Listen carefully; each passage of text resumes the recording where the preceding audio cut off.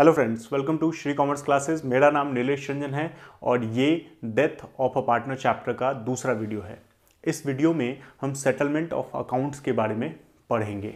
मतलब कि अगर कोई साझेदार मर जाता है तो उस वक्त हम उसको क्या क्या पे करेंगे? मतलब कौन कौन से आइटम में उसका हिस्सा दिया जाएगा? ठीक है? तो डेथ ऑफ़ अ पार्टनर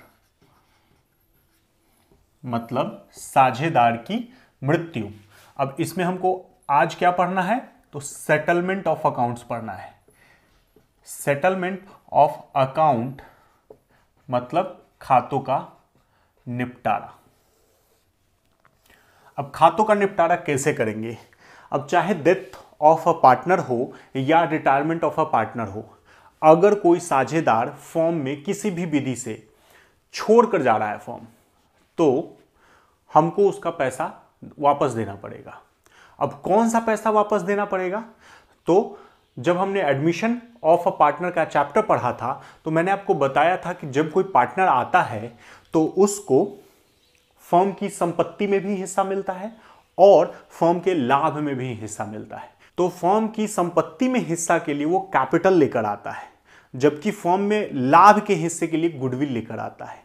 तो अब वो फर्म छोड़कर जा रहा है तो फॉर्म की संपत्ति में अपना हिस्सा भी छोड़ के जा रहा है और फॉर्म की लाभ में जो उसका अपना हिस्सा था, वो भी छोड़कर जा रहा है। तो जो चीज़ें वो लेकर आया था हिस्सा पाने के लिए, यानी कि कैपिटल और गुडविल, वही चीज़ वो लेकर चला जाएगा।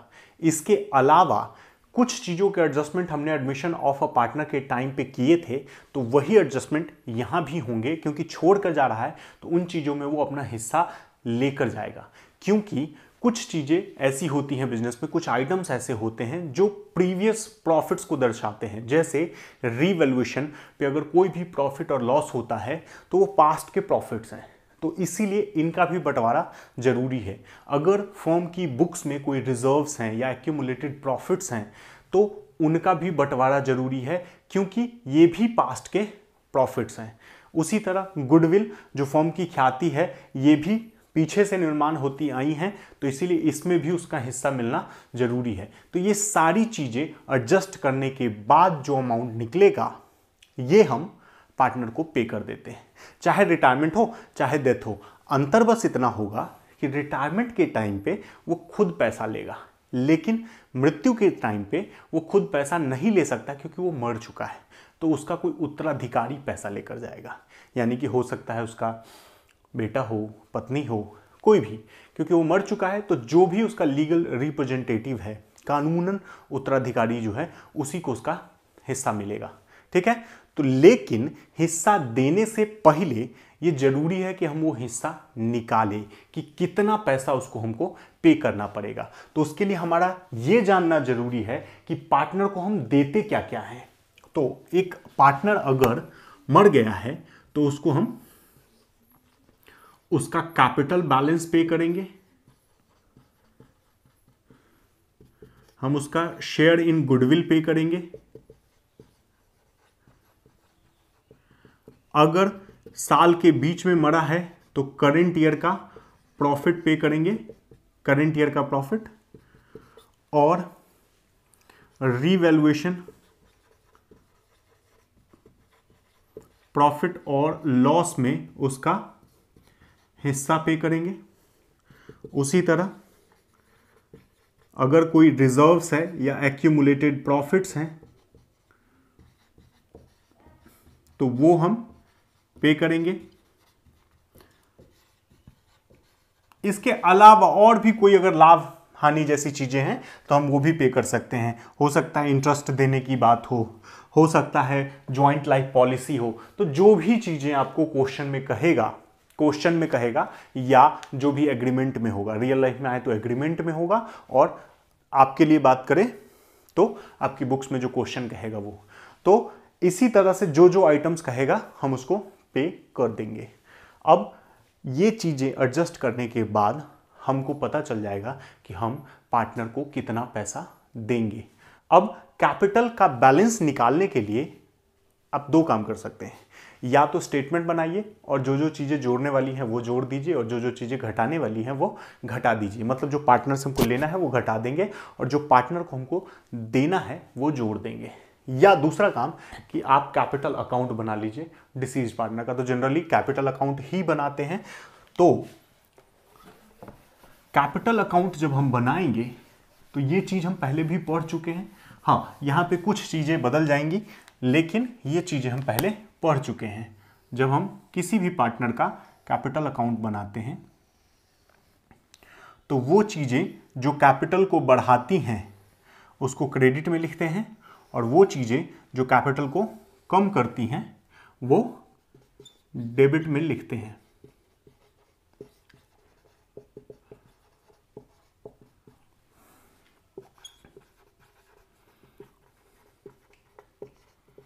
तो ये है आपका format, particular amount particular amount. और इधर डेबिट, इधर क्रेडिट। अमाउंट इन रुपीज़ आप लिख लेंगे। ठीक है? अब, सबसे पहले पार्टनर कैपिटल अकाउंट जब हम बना रहे हैं तो मैं आपको कैपिटल अकाउंट का याद दिला देता हूँ कि कैपिटल अकाउंट दो तरीके से बनता था। बनता था या है, आप कुछ भी कह सकते हैं। पहला कि फ्लक्चुएटिंग कैपिटल मेथड और दूसरा fixed capital method fluctuating capital method में सिर्फ़ एक अकाउंट बनता था, जिसमें हम पार्टनर के कैपिटल से रिलेटेड सारी चीज़ें लिख देते थे। और जब हम फिक्स्ड कैपिटल मेथड फॉलो करते थे तो दो अकाउंट बनते थे, एक पार्टनर कैपिटल अकाउंट और दूसरा partner current account. Partner current account में जो रेकरिंग नेचर के होते थे, जो छोटे मोटे आइटम होते थे, उन सभी आइटम्स को करेंट अकाउंट में दिखा देते थे। और दो चीज़ें ड्रॉइंग अगेंस्ट कैपिटल और एडिशनल कैपिटल इन दो चीज़ों को हम पार्टनर कैपिटल अकाउंट में दिखाते थे। यानी कि ओपनिंग बैलेंस अगर कैपिटल का है वो एडिशनल कैपिटल है वो वो दोनों क्रेडिट में और अगर ड्राइंग है कैपिटल के अगेंस्ट में तो वो डेबिट में दिखाते थे। बाकी फिर हम बैलेंस निकाल लेते थे। तो इसी तरह से करंट अकाउंट में दिखाते थे, उसका बैलेंस होता था और फिर जो भी आइटम्स कैपिटल अकाउंट से रिलेटेड है वो सब करेंट अकाउंट में जाते थे। तो इस तरह से हम कैपिटल अकाउंट बनाते थे। तो हम यहाँ फ्लक्चुएटिंग ही लेके चल रहे हैं, ये मान के चल रहे हैं कि एक ही अकाउंट बनाना है। ठीक है? तो बाई बैलेंस बी यानी कि कैपिटल का जो ओपनिंग बैलेंस है, वो पहले लिखेंगे। अगर रिज़र्व में हिस्सा मिलना है तो जो भी रिज़र्व का नाम हो, वो रिज़र्व आप लिख देंगे। अगर साल के बीच में मरा है तो प्रॉफिट में हिस्सा मिलेगा तो उसको बोलते हैं profit and loss suspense account. उसके माध्यम से पे किया जाता है तो इसीलिए ये इसको शेयर इन प्रॉफिट कहते हैं।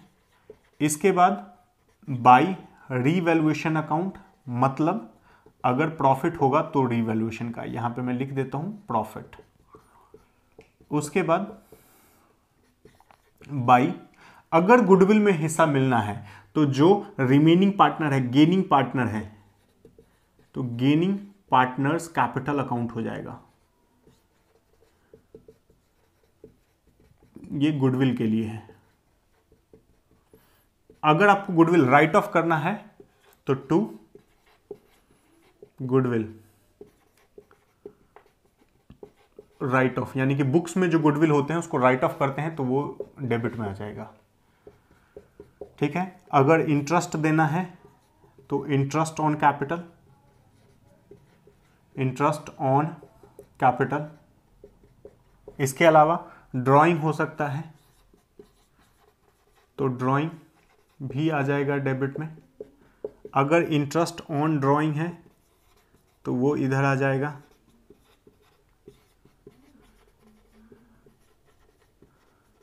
अगर रीवैल्यूएशन पे लॉस होगा तो इधर आ जाएगा।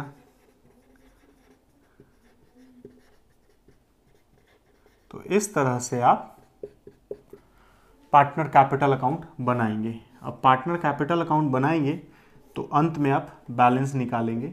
बैलेंस जनरली डेबिट में निकलता है तो इसीलिए टू एग्जीक्यूटर अकाउंट हो जाएगा। यानी कि अगर पार्टनर का जो भी नाम होगा, वो नाम लगा के आप एग्जीक्यूटर अकाउंट लिख देंगे और ये बैलेंस निकल जाएगा, जो कि एग्जीक्यूटर अकाउंट में ट्रांसफ़र हो जाएगा। तो इसके बाद बात आती है कि अब हम पे कैसे करेंगे? हमने बैलेंस तो निकाल लिया तो बैलेंस निकालने के लिए तो कैपिटल अकाउंट बना लिया। अब बात आती है कि हम एग्जीक्यूटर को पे कैसे करेंगे? तो पे करने के लिए यहाँ से पहले ट्रांसफ़र होगा तो एग्जीक्यूटर अकाउंट आप बनाएँगे। इसमें दो केसेस आपको कह सकता है। दो केसेस क्या कह सकता है? कि एक, आपने एग्जीक्यूटर को तुरंत पे कर दिया है। अब तुरंत पे कर देंगे तब तो आसान है, तब तो इसमें कुछ खास करना नहीं है। लेकिन अगर आपने इसको लोन की तरह ट्रीट किया है और उसी तरह पे किया है तो उसके लिए आपको इतने बड़े अकाउंट्स की ज़रूरत पड़ेगी। अब एंट्री क्या करते हैं हम? एग्जीक्यूटर पे करने का। अगर सबसे पहले तो जो कैपिटल अकाउंट का बैलेंस निकल जाएगा, उसको ट्रांसफ़र करने के लिए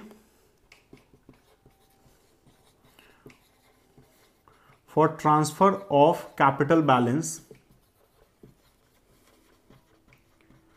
to executor account यानी कि एग्जीक्यूटर अकाउंट में आप कैपिटल बैलेंस को ट्रांसफ़र कर रहे हैं। तो इसमें हो जाएगा partners capital account debit to executor account यहाँ पे डिसीज्ड लगा दीजिएगा, क्योंकि मृत साझेदार है।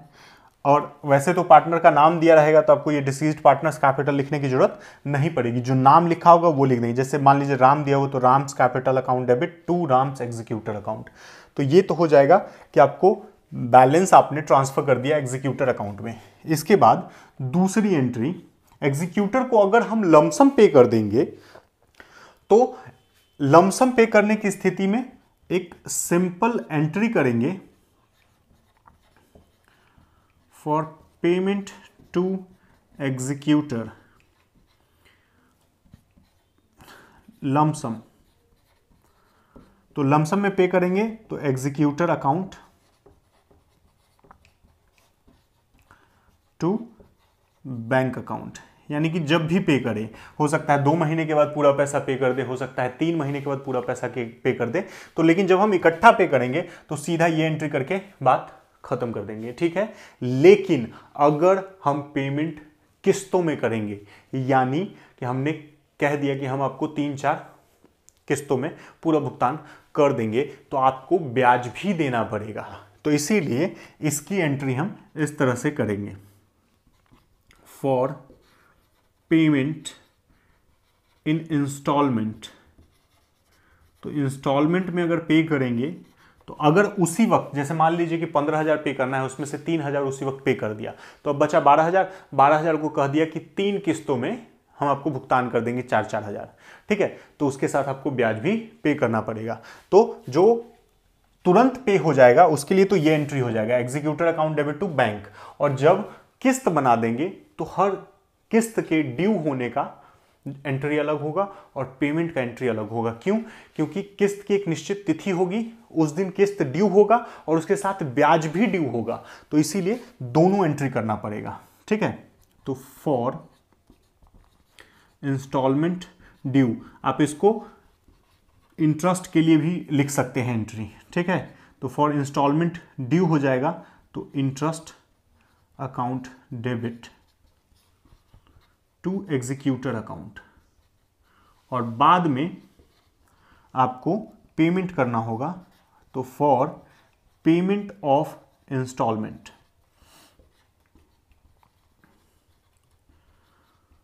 तो ये हो जाएगा आपका executor account debit to bank account. यहाँ पर जो interest account debit to executor कर रहे हैं, यहाँ पर आपको ब्याज की खाली एंट्री करनी है। इंस्टॉलमेंट पूरा जो होगा, उसमें खाली आपको ब्याज ड्यू करवाना है, क्योंकि ये पैसा तो पहले से ही ड्यू है, ठीक है? तो उसको अलग से ड्यू करवाने की ज़रूरत नहीं है। ये सिर्फ़ आपको ब्याज ड्यू करवाना है तो interest account debit to executor और बाद में एग्जीक्यूटर को इकट्ठा पे करेंगे, यानी कि चार हज़ार का जैसा भी मैंने आपको बताया किस्त, वो और उसके साथ ब्याज। तो ये दोनों यहाँ पर पे होगा इकट्ठा। तो अगर आपको एग्जीक्यूटर अकाउंट बनाने के लिए कहेगा, ठीक है तो इधर शुरू में तो ट्रांसफ़र होके जो ये बैलेंस आएगा कैपिटल का जो ये बैलेंस है, ये हमने वहाँ पे ट्रांसफ़र किया है। तो by deceased partners capital account और ये बैलेंस हम लिख देंगे। उसके बाद हर साल अगर सालाना है तो तिमाही है तो छमाही है तो यानी कि जब भी किस्त ड्यू होगा, उस तारीख को हम किस्त ड्यू होने के लिए बाई इंटरेस्ट अकाउंट लिखेंगे, ठीक है? और इधर टू बैंक अकाउंट। और अगर कोई डाउन पेमेंट होगा, यानी कि उसी वक्त तुरंत पैसा पे कर दिया है तो इमीडिएट पेमेंट के लिए आप यहाँ पे एक और बैंक अकाउंट लिख देंगे। तो एक और बैंक अकाउंट आपको लिखना पड़ेगा इंस्टॉलमेंट के लिए। ठीक है? तो ये पेमेंट हो जाएगा। उसके बाद जो पैसा बचेगा, वो बैलेंस में लिख दिया जाएगा। टू बैलेंस सी डी और ये बैलेंस आगे कैरी फॉरवर्ड हो जाएगा और फिर से ब्याज ड्यू करेंगे और फिर से पेमेंट करेंगे। ठीक है? यहाँ पे फिर से बाई इंटरेस्ट लिखेंगे, इधर टू बैंक लिखेंगे, फिर से बैलेंस निकालेंगे। तो यानी कि जब तक किस्त ड्यू होता रहेगा, जितने भी किस्त होंगे, तब तक आपको ये काम करते जाना है। जैसे तिमाही के लिए तो तिमाही के लिए, छमाही के लिए तो छमाही के लिए ये आपको काम करना है। और साल के अंत में बुक्स क्लोज होते हैं तो ये एक साल का है। ठीक है? उसका फिर दूसरे साल का। अगर छमाही होता तो दो बार आपको ब्याज ड्यू करवाना पड़ता और दो बार पेमेंट करना पड़ता। उसी तरह फिर से यहाँ पे दो बार ब्याज ड्यू करवाना पड़ता और दो बार पेमेंट करना पड़ता। तो इस तरह से हम एग्जीक्यूटर अकाउंट बना लेंगे और उसका पेमेंट कर देंगे। तो ये है आपका पूरा जो एग्जीक्यूटर वाला कॉन्सेप्ट था, यानी कि जब हम खातों का निपटारा करते हैं तो पहले बैलेंस निकालते हैं। कैसे? तो पार्टनर कैपिटल अकाउंट बना के पार्टनर कैपिटल अकाउंट जब हम बनाते हैं तो उसमें क्या क्या चीज़ें लिखते हैं? तो कैपिटल का बैलेंस हमने लिख दिया है, हमने रिज़र्व लिखा है। रिज़र्व में जो उसका हिस्सा होगा, वो हिस्सा कैसे निकालेंगे रिज़र्व का, ये हम पहले भी पढ़ चुके हैं। तो मैं आपको सिर्फ़ ऐसे ही बता देता हूँ कि बाई रिज़र्व अकाउंट लिखा हुआ है। रिज़र्व जब बंटवारा होता है पार्टनर्स के बीच में तो एंट्री होता है reserve account debit to partners capital account. यानी कि जितने भी पार्टनर्स होंगे, उनमें, उनके प्रॉफिट शेयरिंग रेशियो में रिज़र्व बढ़ जाता है। तो इसीलिए बाई रिज़र्व अकाउंट लिखा हुआ है, इसका जो हिस्सा होगा, अगर एक बटा पाँच होगा, दो दो एक का अनुपात है या एक एक एक का अनुपात है तो अगर इक्वल है और मान लीजिए तीन पार्टनर है तो एक बटा तीन इसका होगा तो जो रिज़र्व का अमाउंट होगा, उससे गुना करके ये बैलेंस निकाल लेंगे। इससे पिछले वीडियो में हमने profit and loss suspense account वाला ये, यानी कि जो अगर साल के बीच में अगर पार्टनर मर जाता है तो प्रॉफिट की कैलकुलेशन कैसे करते हैं, वो हमने पिछले वीडियो में कर लिया था तो वो अमाउंट यहाँ पर लिखा गया है। उसके बाद रीवैल्यूएशन तो आपको रीवैल्यूएशन अकाउंट अगर बनाने के लिए कहेगा तो आपको रीवैल्यूएशन अकाउंट बना लेना है, और उसमें से जो प्रॉफिट लॉस आएगा, उसका बंटवारा कर लेना है। वो भी प्रॉफिट शेयरिंग रेशियो में ही, ठीक है?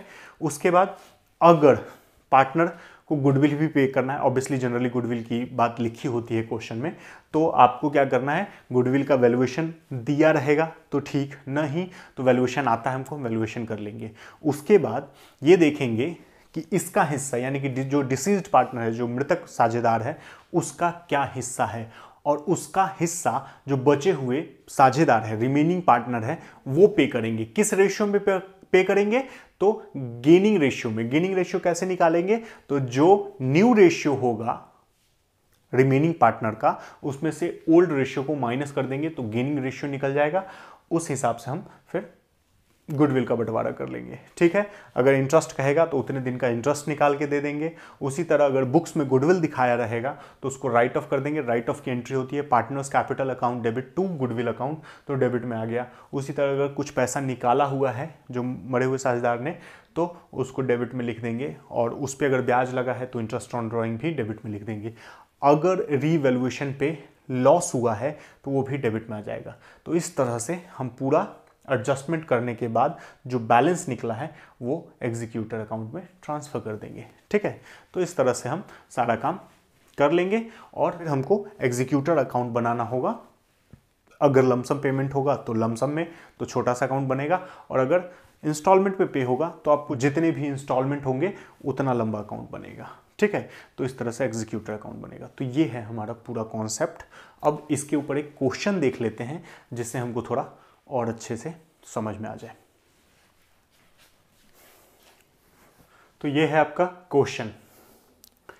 Ram Mohan and Sohan are partner sharing profit and loss in two is to two is to one.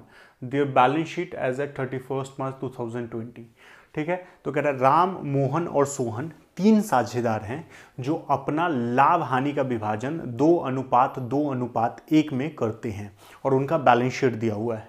Balance sheet में क्रेडिटर्स दिया हुआ है दस हज़ार का, वर्कमैन कंपनसेशन रिज़र्व दिया हुआ है पचहत्तर सौ का, कैपिटल दिया हुआ है राम मोहन सोहन का बीस हज़ार, दस हज़ार दस हज़ार, टोटल चालीस हज़ार। इधर एसेट साइड में टूल्स दिया हुआ है थ्री थाउज़ेंड का, फर्नीचर है एटीन थाउज़ेंड का, स्टॉक है सिक्सटीन थाउज़ेंड का, डेटर्स है ट्वेल्व थाउज़ेंड का, कैश इन हैंड है एट थाउज़ेंड का और कैश एट बैंक है फाइव हंड्रेड। टोटल हो गया fifty seven thousand five hundred तो ये तो हो गया आपका बैलेंस शीट। अब कह रहा है कि कैसे हमको पे करना है? तो सोहन जो है, वो मर गया तीस जून को। Sohan died on thirty June two thousand twelve तीस जून को मृत हो गया। Executor of Sohan were entitled to यानी कि सोहन के एग्जीक्यूटर को ये चीज़ें मिलनी थी। क्या क्या मिलना था? तो कैपिटल बैलेंस ये हम पहले से जानते हैं। 150 एज इंटरेस्ट ऑन कैपिटल अब यहाँ पर आपको इंटरेस्ट ऑन कैपिटल का अमाउंट दे दिया, लेकिन हो सकता था कि आपको क्वेश्चन में कह देता कि हम 10 परसेंट के हिसाब से इंटरेस्ट पे करते। तो हम सोहन का जो कैपिटल है ten thousand ten thousand into ten by hundred और तीस जून को मरा है, इकतीस मार्च से तीस जून तो तीन महीने तो गुने तीन बटा बारह कर देते। ठीक है? तो ये हो जाता हमारा इंटरेस्ट उसी तरह दिया हुआ share of goodwill rupees five thousand तो गुडविल का शेयर भी आपको दे दिया, वो भी निकालने की ज़रूरत नहीं है। लेकिन हो सकता था आपको वैल्यूएशन करने के लिए कहता और फिर उसमें से उसका हिस्सा निकालने के लिए कहता। Share in profit and loss of current year seven fifty यानी कि पिछले साल के अंत से अभी तक उसका जो प्रॉफिट में हिस्सा निकला है वो सेवन फिफ्टी है। ठीक है?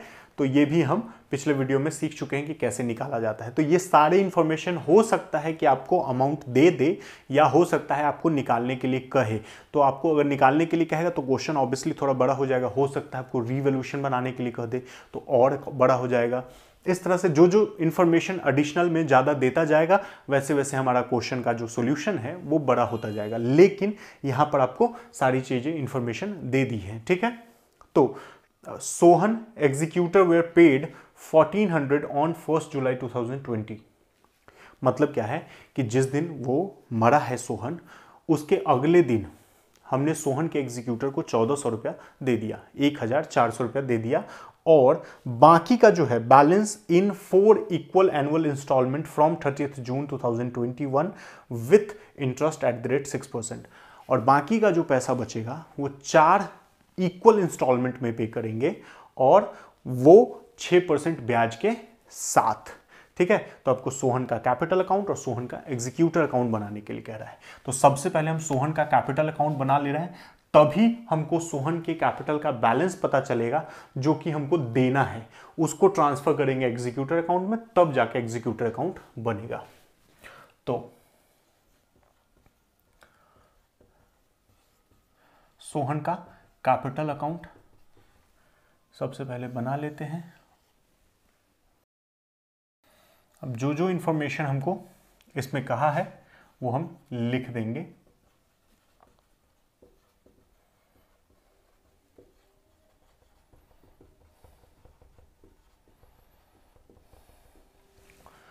सबसे पहले तो कैपिटल का बैलेंस उसको पे करना है। तो by balance B D capital का बैलेंस है उसका दस हज़ार। तो ये दस हज़ार उसको पे करेंगे हम। उसके बाद आपको कहा है कि 150 इंटरेस्ट भी देना है तो बाई इंटरेस्ट ऑन कैपिटल 150 उसके बाद शेयर ऑफ़ गुडविल तो शेयर ऑफ़ गुडविल जो है, वो पार्टनर हमेशा गेनिंग रेशियो में पे करते हैं। तो जो बचे हुए साझेदार हैं, यानी कि राम और मोहन, उनका गेनिंग रेशियो आपको निकालना पड़ेगा। और आपको कोई नया रेशियो नहीं दिया हुआ है क्वेश्चन में, इसीलिए उनका जो न्यू रेशियो है, वो टू इज़ टू टू ही रह जाएगा, यानी कि इक्वल रह जाएगा। तो जितना पहले था, उतना ही रह जाएगा तो उनका गेनिंग रेशियो भी टू इज़ टू टू ही आएगा। ठीक है? तो यानी कि इक्वल तो बाई राम कैपिटल और बाई मोहन कैपिटल ये दोनों इक्वली डिस्ट्रीब्यूट करेंगे, यानी कि इक्वली पे करेंगे गुडविल को, सोहन को। ठीक है? तो गुडविल का पेमेंट हो गया। Share in profit and loss of current year तो जो प्रॉफिट एंड लॉस होता है करेंट ईयर का, वो profit and loss suspense account के माध्यम से दिया जाता है। तो सस्पेंस अकाउंट 750 इसके अलावा यहाँ पे एक वर्कमैन कंपनसेशन रिज़र्व दिया हुआ है, वो भी बांट देंगे। तो बाई वर्कमैन कंपनसेशन रिज़र्व पचहत्तर सौ का है और उसमें उसका एक बटा पाँच का हिस्सा है, ठीक है? तो पंद्रह सौ इसको मिल जाएगा वर्कमैन कंपनसेशन का। इसके अलावा और कोई भी आइटम उसको देने वाला नहीं है। अगर हमको रीवैल्यूएशन कहता तो हम रीवैल्यूएशन का प्रॉफिट भी लिख देते हैं, ठीक है? प्रॉफिट या लॉस जो भी आता, वो लिख देते हैं। लेकिन इसके अलावा हमको कुछ भी नहीं कह रहा है। यहाँ से के बाद का जो इन्फॉर्मेशन है, वो एग्जीक्यूटर अकाउंट से रिलेटेड है। तो वो हम एग्जीक्यूटर अकाउंट में करेंगे। इसके अलावा यहाँ पे कोई इंफॉर्मेशन नहीं है। तो हम इसका बैलेंस निकाल लेते हैं। तो सेवनटीन फोर हंड्रेड सत्रह चार सौ। तो ये हो जाएगा टू सोहन एग्जीक्यूटर अकाउंट सत्रह चार सौ। तो ये हम एग्जीक्यूटर अकाउंट में ट्रांसफ़र कर देंगे। तो अब हमको इधर बस एक इन्फॉर्मेशन ये याद रखना है कि चौदह सौ रुपया उसी वक्त पे कर दिया है और पहला इंस्टॉलमेंट 30 जून 2021 से शुरू हो रहा है। तो हमको सिर्फ़ इन्फॉर्मेशन क्या चाहिए थी? तो एग्जीक्यूटर अकाउंट से आगे वाला, उससे पहले वाले इन्फॉर्मेशन का हम यूज़ कर चुके हैं। तो अब ये इन्फॉर्मेशन मेरे काम की थी, इसलिए मैंने सिर्फ़ इसी को यहाँ पे छोड़ा है। अब हम यहाँ पे सोहन का एग्जीक्यूटर अकाउंट बना लेते हैं। आप अगर चाहें तो इस तरह के अकाउंट में आप डेट को भी लेकर चल सकते हैं, क्योंकि डेट की वजह से कभी कभी कंफ्यूजन भी हो जाता है। तो डेट भी मैं लिख देता हूँ। अब वो बैलेंस सबसे पहले यहाँ पे ट्रांसफ़र होगा। किस दिन? तो एक जुलाई को, ठीक है? या तीस जून को मरा है, उसी दिन ले सकते हैं आप। तीस जून को 2020 है। 2020 है, उसका जून थर्टीथ है, ठीक है? तो बाई सोहन कैपिटल अकाउंट सत्रह हज़ार चार सौ, ठीक है? इसमें से चौदह सौ रुपया उसी वक्त पे कर दिया है, यानी कि जुलाई फ़र्स्ट को पे कर दिया है चौदह सौ। तो टू बैंक अकाउंट चौदह सौ रुपया, ठीक है? अब इसमें एक ध्यान देने वाली बात है कि अगला किस्त इस साल नहीं पे हो रहा है, सीधे अगले साल 30 जून को पे हो रहा है। तो हर साल 30 जून को पे होगा। तो खाता कब क्लोज हो रहा है? तो खाता 31 मार्च को क्लोज हो रहा है और पेमेंट हो रहा है 30 जून को। तो 30 जून से 31 मार्च तक का हर साल ब्याज ड्यू होगा खाली पेमेंट नहीं होगा। केवल 30 जून तक का ब्याज ही पे होगा। तो यहाँ पर हमको इस साल कोई किस्त पे नहीं करना है, लेकिन जून 30 से 31 मार्च तक का आपको ब्याज निकालना पड़ेगा बाई इंटरेस्ट अकाउंट और वो कितना होगा? तो इंटरेस्ट का कैलकुलेशन आपको वर्किंग नोट में दिखाना पड़ेगा। ठीक है? वर्किंग नोट नंबर वन कह लीजिए आप इसको। फ़र्स्ट इंस्टॉलमेंट में तो फ़र्स्ट इंस्टॉलमेंट में कितना ब्याज शामिल है? तो दो ब्याज शामिल है। एक तो होगा तीस जून से इकतीस मार्च तक हमको निकालना पड़ेगा और दूसरा 31 मार्च से फिर 30 जून तक निकालना पड़ेगा। ठीक है? क्योंकि ईयरली है तो हर एक साल 30 जून को ही पे हो रहा है। तो ये जो नौ महीने का है, वो पहले साल में आ जाएगा और ये तीन महीने का अगले साल में दिखेगा। ठीक है? तो यहाँ पर सोलह हज़ार पे आपको छ परसेंट नौ महीने के लिए। और यहाँ पर सोलह हज़ार का छ परसेंट तीन महीने के लिए। तो ये आ जाएगा आपको 720 और ये आ जाएगा आपको 240 टोटल आ जाएगा 960 ठीक है? तो यहाँ पर हम ले लेंगे 720 और इस बार पेमेंट नहीं हुआ है तो इसीलिए अट्ठारह एक सौ बीस पर बैलेंस निकल जाएगा। अट्ठारह एक सौ बीस, to balance B D to balance B D सोलह सात सौ बीस और ये इधर आ जाएगा। बाई बैलेंस अच्छा सी डी होगा यहाँ पे, सॉरी, ये क्लोजिंग बैलेंस है तो सी डी होगा यहाँ पे यहाँ पे बी डी होगा। सोलह सात सौ बीस और ये शुरुआती होगा अप्रैल एक 2021 की बात है, ये भी 2021 ही है, मार्च। ये भी 2021 ही है, मार्च थर्टी फ़र्स्ट। ठीक है? अभी बैलेंस निकल गया, एक और ब्याज निकलेगा जून तीस तक का। By interest. कितना? तो 240 और पेमेंट हो जाएगा, चार हज़ार का हमारा किस्त था, क्योंकि सोलह हज़ार को हमको चार किस्तों में पे करना था तो चार चार हज़ार के चार किस्त। तो टू बैंक कब पे हो रहा है?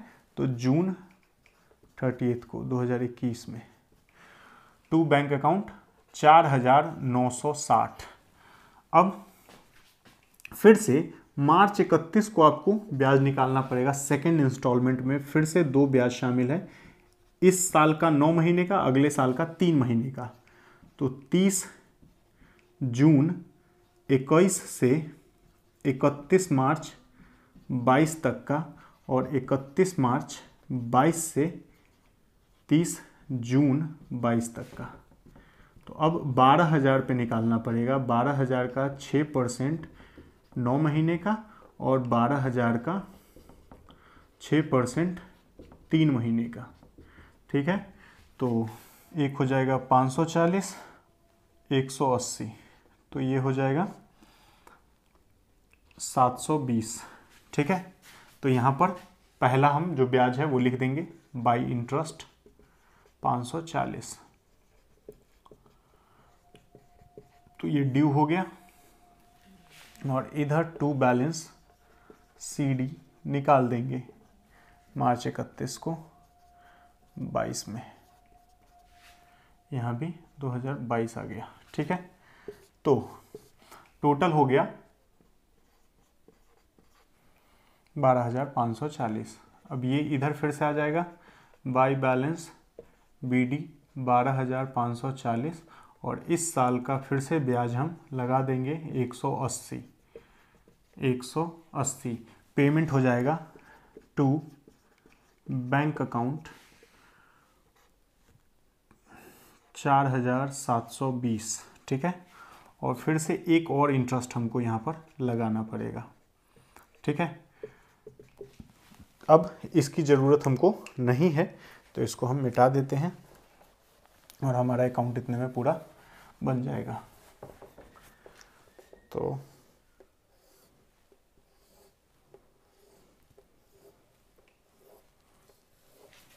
थर्ड इंस्टॉलमेंट में फिर से जब हम आएँगे तो 30 जून 22 से 31 मार्च 22 तक निकालना पड़ेगा आपको। और 31 मार्च 22 तेईस से 30 जून 23 तक निकालना पड़ेगा। ठीक है?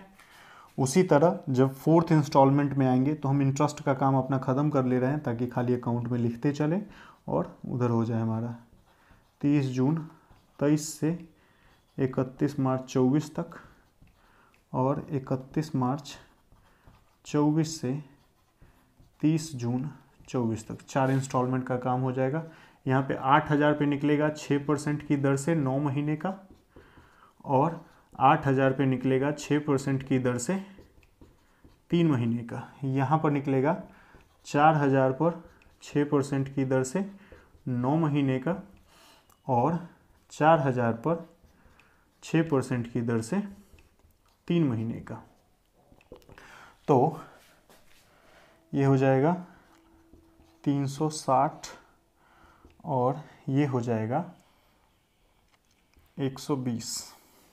ये हो जाएगा एक सौ अस्सी और ये हो जाएगा साठ। तो ये आ गया 240 और ये आ गया आपका 480 ठीक है? अब इसको हम इधर लिख लेते हैं। तो 180 के बाद 360 पेमेंट हो चुका है तो खाली बैलेंस निकालना है। तो ये कितना बैलेंस निकलेगा? तेरह ज़ीरो अस्सी। तेरह ज़ीरो अस्सी। यहाँ पर टू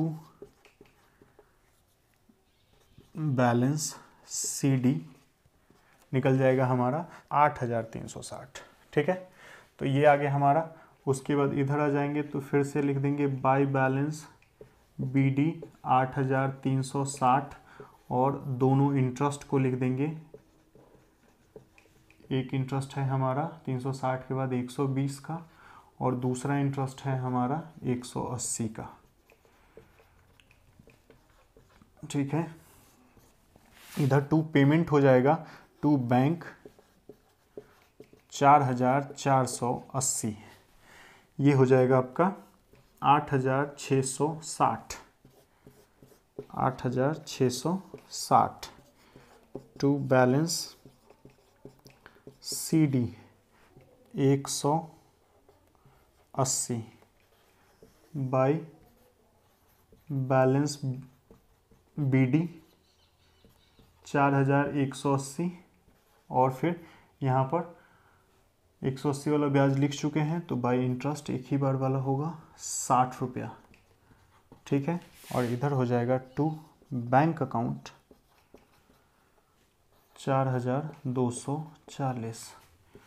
मामला क्लोज, चार हज़ार दो सौ चालीस, चार हज़ार दो सौ चालीस। यहाँ पे जो भी डेट है तो ये है आपका पूरा सॉल्यूशन, ठीक है? तो पहले हम सोहन का जो कैपिटल का बैलेंस है, उस वो निकाल लिया है, यानी कि डिसीज्ड पार्टनर के कैपिटल का बैलेंस निकाल लिया है, और उस बैलेंस को हमने इंस्टॉलमेंट में पे कर दिया है। अगर लमसम में पेमेंट होता तो हमको इतना कुछ करने का ज़रूरत नहीं पड़ता। इधर कैपिटल से ट्रांसफ़र होता, इधर टू बैंक होता, बात खत्म, यहीं पे मामला क्लोज हो जाता। ठीक है? तो ये है इंस्टॉलमेंट में पेमेंट का। तो इसीलिए इसमें थोड़ा लंबा चला है। ठीक है? तो ये है आपका पूरा कॉन्सेप्ट। अगर आपको इस पूरे कॉन्सेप्ट में कोई भी दिक्कत है तो आप यूट्यूब के कमेंट में, फेसबुक पे, इंस्टाग्राम पे या हमारे टेलीग्राम चैनल पे हमको मैसेज कर सकते हैं, हमसे कांटेक्ट कर सकते हैं। अगर आपको ये वीडियो पसंद आया है तो वीडियो को लाइक करें, पेज को सब्सक्राइब करें और बेल आइकन दबाएँ ताकि आपको आगे की वीडियो के अपडेट मिलते रहें। धन्यवाद।